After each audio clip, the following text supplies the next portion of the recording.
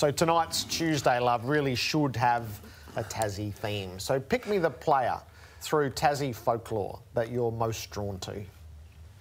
Matthew Richardson's the best player I've seen from Tasmania, and he's also a very generous, humble sort of person, Richo.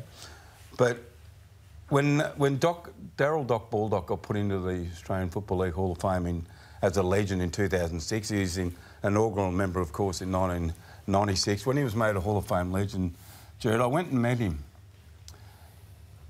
And other than meeting Leigh Matthews for the first time, I thought I was in the presence of a mythical football figure, Yep. Doc Baldock. You know, I didn't know anything about Tasmania, but I'd heard of Doc Baldock, and when I went to the hotel room, he, he, he had blue eyes, and he was such a, I'll say it again, he was such a humble person, and he, was, he wasn't very tall.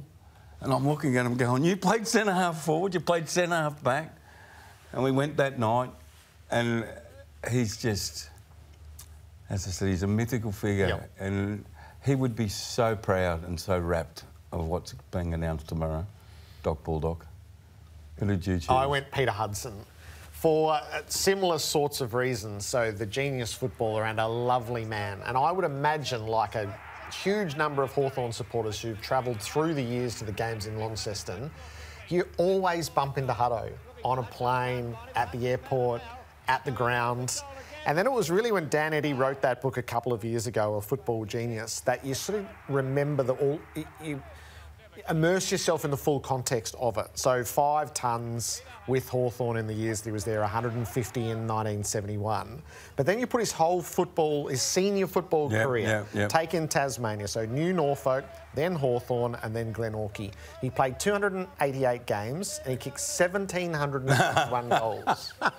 So I thought, so just give me the quick p- plugger comparison. Who played 281 games for 1362? Yeah. he's- 1,721 goals. But a beautiful man above all. I was I'm gonna too add young, that. But a beautiful man whenever Yeah. you would come across him. He's always got a smile on his face, Peter Hudson, Yep. and so we should with that sort of that sort of record. But um, he, he again another mythical figure, flying into Waverley in a chopper, getting out with a bung knee. I think he kicked Yep. eight that day. There's so many terrific stories about Peter Hudson, and he's one of the legends of the game with Darryl Baldock. Jack and Nick will be flat. Well, I did say. we went to a previous generation. Shall we get yes, into it? yes. Sorry, Jack. Top of the agenda, it does serve as the ultimate tease. The presidents met at high noon to approve Tasmania's entry, and then the commission followed to ratify the issuing of the 19th licence. And then tonight, this from Gil McLachlan, as good a statement as he's ever put out. See you in Tassie, tomorrow. It's not an Australian Football League if it leaves off the South Island. And that's what's occurred for too long. So this is an exciting project. The $240 million that we have for this project will see here a stadium that will see housing, that will see private investment as well. The announcement on Saturday, I can't think that anyone wouldn't have just been absolutely buoyed by that. All the building blocks are in place, and we're you know really looking forward. It's exciting. I'm really excited for the state that it is going to happen. The addition of an AFL team in Tasmania will be great for all the young kids there. AFL footy right there on their doorstep. It should lead to, to more participation and enthusiasm around the sport. Geelong are believers in the Tasmanian licence. It's overdue having representation. And if there are challenges, the game's big enough and has the financial wherewithal to make it happen if there's enough will. And, and I think we've got to that point now. I can't imagine that it won't get an 18-0 vote today or tonight. I, I'd, be, I'd be completely shocked if that's not the case.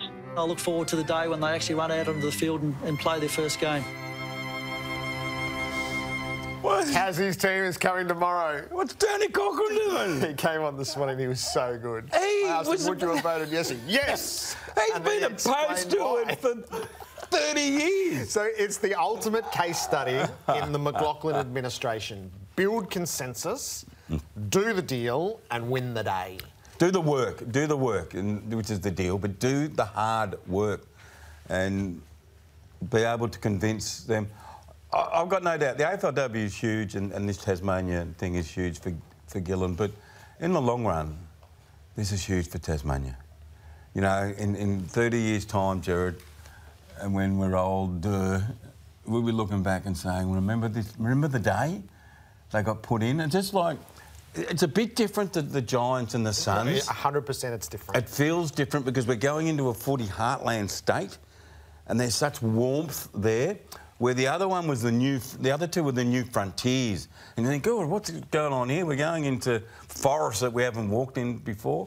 But we're going to Tasmania, and there's just such a glow about it. Yep. So a decades old struggle and then a really cleverly constructed five year campaign.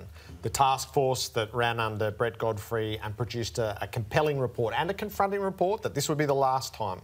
This would be the last time mm. Tasmania would seriously put itself forward for recognition, for respect, and not to be treated in the condescending manner of the past. And no, that can't be done. And it defaulted, we, we stepped through it all north, south, economics yep. won't work, yep. population is not there. Can't afford a stadium. So all of that was stepped through. We had a Premier in Peter Gutwein who strong armed the AFL. Is to get to that table, you have to be able to hold some cards. And he did. He threatened and he cajoled and he demanded and he imposed typical, deadlines. Typical politician. So he he was so forthright.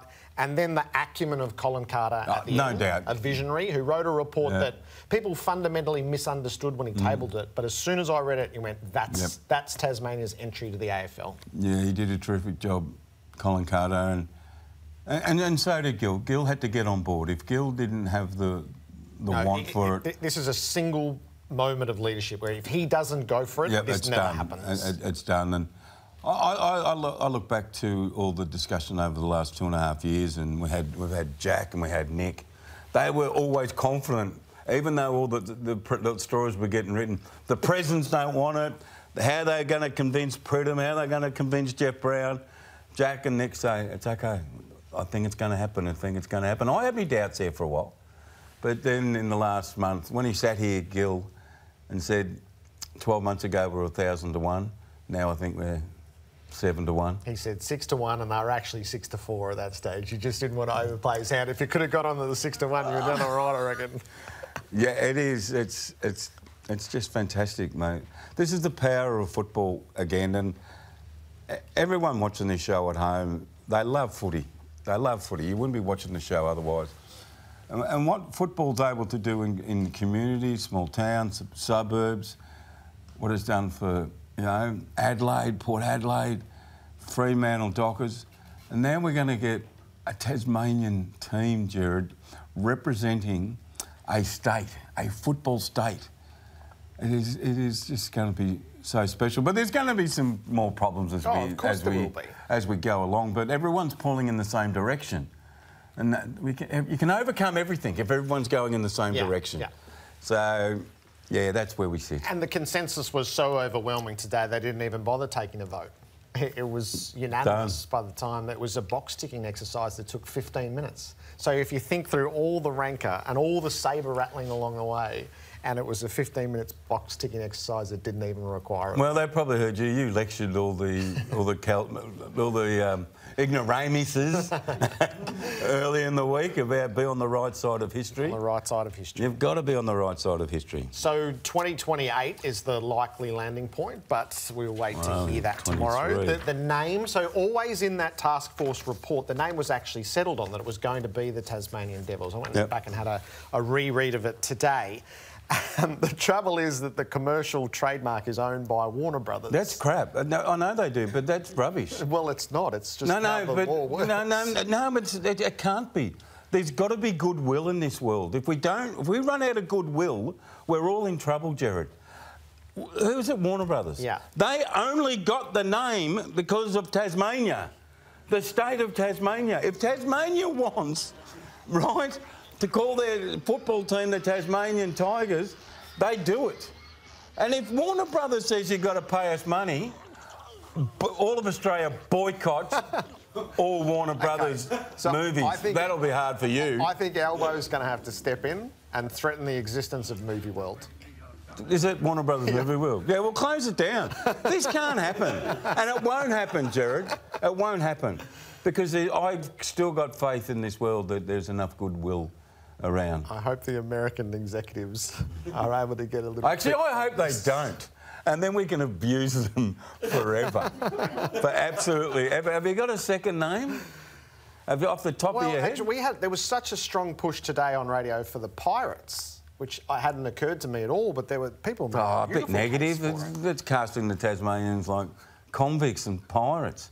What about the Islanders? Yeah, the Islanders came through. Yeah, I, that, I didn't mind that. But we're all we're, we're going to get the Devils, mate.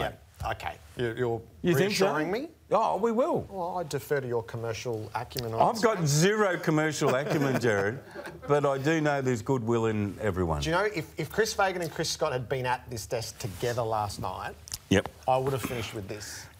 2028. No, you say one, you say All right. Fagan. Chris Fagan. Fagan.